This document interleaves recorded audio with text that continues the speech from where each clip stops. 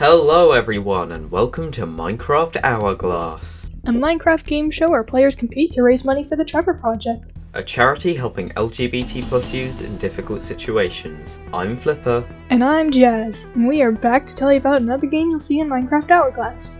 In a bizarre apocalypse scenario, the world has been overtaken by memory loss, spreading magma, and cows? Prepare yourselves, folks, it's time for a funky fumble. Brought to you by the Peckable, the Describable. Comedy Core!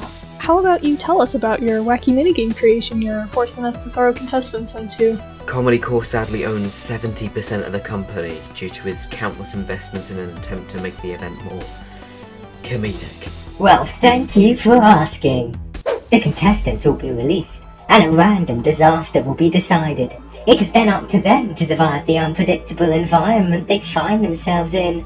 After a short amount of time, another disaster is picked and added to the chaos, and then another. But Comedy Core, how do we pick the catastrophes? Well, thanks to my handy dandy Dimensionator, patent pending, we are able to reach into any other timeline and rip apart the horrifying and monstrous diseases and disasters of the multiverse, and randomly squirt them back into this subdimension for our own amusement. Some say that no one should have this kind of power, and they're wrong. We're abusing, I mean, using this newfound technology for science, with only a small amount of murder involved. Exactly!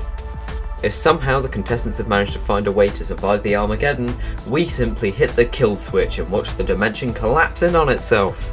The side effects of this include giving everyone swords for some reason, but that's completely unintentional.